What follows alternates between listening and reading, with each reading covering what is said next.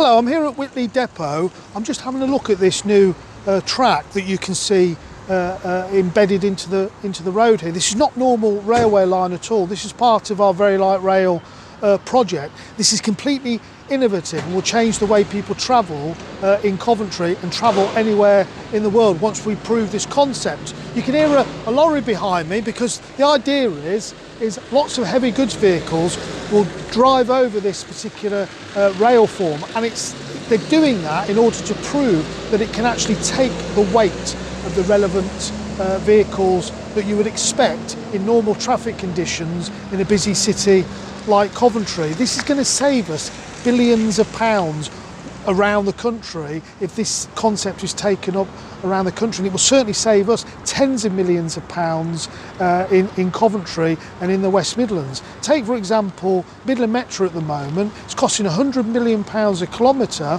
and often two years to put in a kilometre of track. This is taking them two weeks to put this in.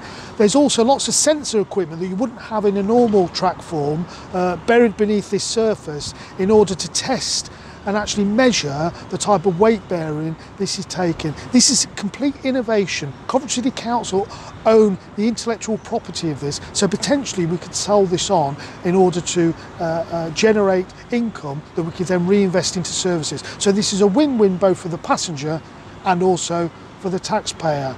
This is innovation in action right here in Coventry.